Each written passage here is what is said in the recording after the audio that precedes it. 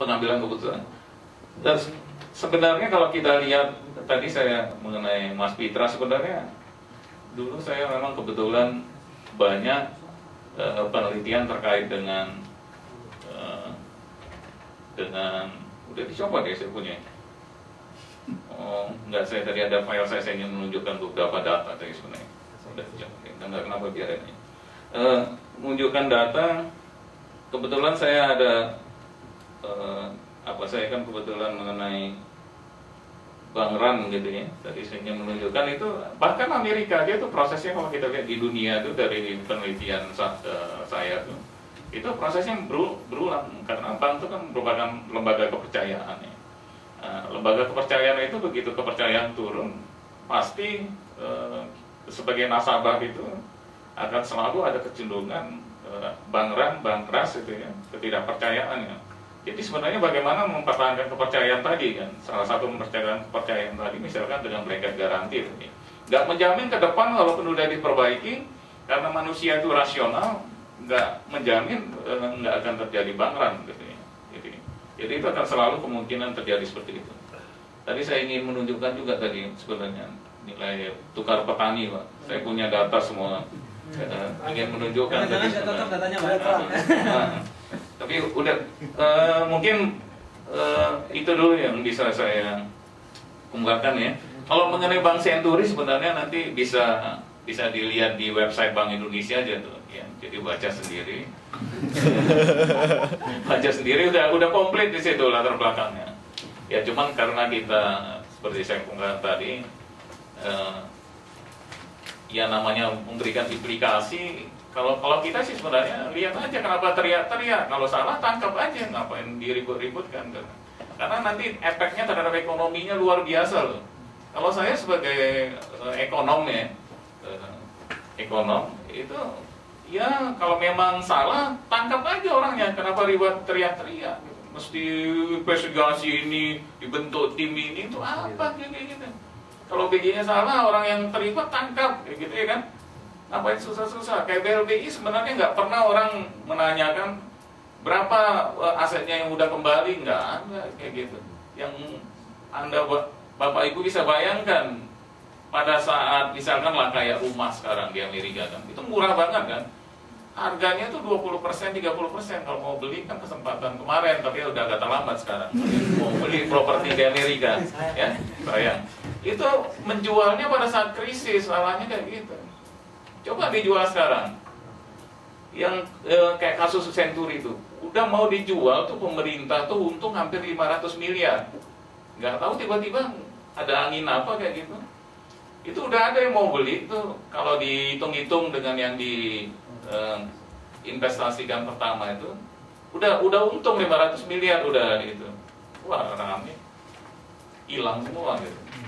Maksud saya kayak gitu. Lesson learn-nya kayak gini aja kalau memang ada salah periksa tangkap. Ya kan kayak gitu ya jangan diteriak-teriakin gitu. Kalau BI-nya salah ya periksa tangkap aja kan. Kalau ada yang salah gitu ya.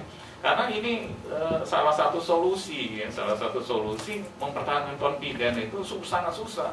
Negara lain aja mereka garansi dikasih gratis kok mereka pemerintah tuh kita masih lumayan itu hanya menaikkan aja dari 100 juta jadi 2 miliar gitu karena saya salut dengan orang kayak Singapura saya dua bulan yang lalu tuh ISIS itu begitu ada orang cerita negatif negaranya itu dikapar sama pembicara Singapura dia kapar dia tutup nggak mau dia bahas lagi. Karena efeknya itu bisa menggelinding gitu. Tahu juga kan negara-negara kita maksud saya lah gitu. Kalau di diskusi ini boleh lah gitu maksudnya.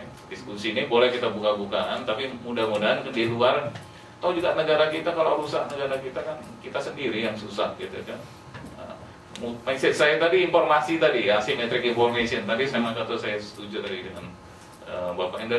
Sulawesi bapak ya? Uh, mirip-mirip kita lah. Sama-sama su ya. Sumatera Sulawesi sama susu gitu. oke. Okay. perlu ditangkap ya? Oh iya, tadi indikator-indikatornya tadi bisa didapatkan di website Bank Indonesia. Eh sorry, uh, World Bank Daniel Kaufman World Governance Index. Oke, okay, terima kasih. masuk itu. Oh, iya. Mungkin ada Pak, bentar, Pak. Plastis ada yang pegang? Enggak. Enggak, enggak, no offense.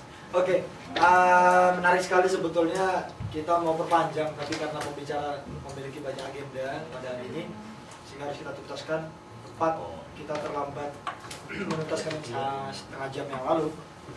Jadi uh, kesimpulan beberapa hal yang bisa kami sampaikan adalah kami sampaikan adalah yang pertama tentang Bank Senturi bisa dilihat langsung. ya Bang Yuda aja saya nanti jalan cek ke website BI www.bi. Oh, dot ID. Lupa juga ya. Or, kira tadi organization. Kemudian uh, tentang yang lainnya, jadi sekaligus merangkum aja. Kegiatan diskusi seperti ini akan kita laksanakan secara mendadak karena kehadiran para pembicara itu tidak bisa kita pastikan karena mendadak juga.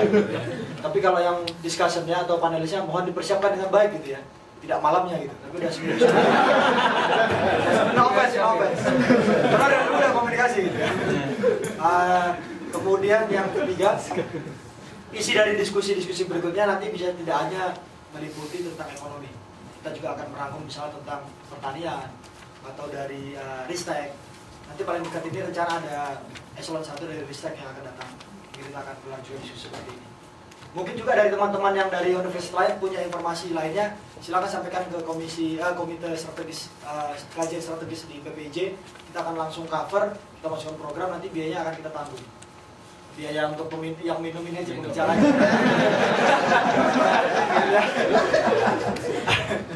Ah, kemudian berikutnya lagi kami sampaikan terima kasih yang sebesar-besarnya kepada para pembicara yang telah meluangkan waktunya bahkan bersedia menjadikan dirinya sebagai sasaran tembak.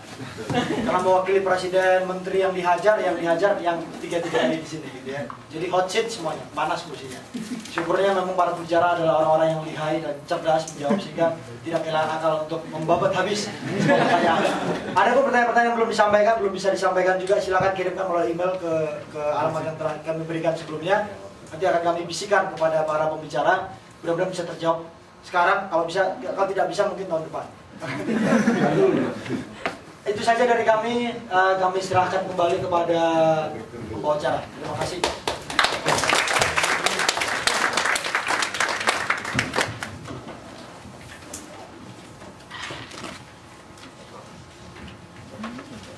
kasih kepada Pak Iskandar Simorangkir dan pada Pak Wisnu dan Pak Fitra. Untuk selanjutnya, sebelum kita menyelesaikan acara ini, kita akan melakukan penyerahan sertifikat kepada para pembicara. Jadi dari dari PPIJ PPI Jepang akan menyerahkan sertifikat kepada para pembicara ketiga pembicara. Kami persilahkan kepada Pak Farid, Ketua PPI Jepang. Oh, mewakili dari PPI Jepang ada Ketua PB Kanto Pak Fitri Faisal Hastiadi. Kami persilahkan.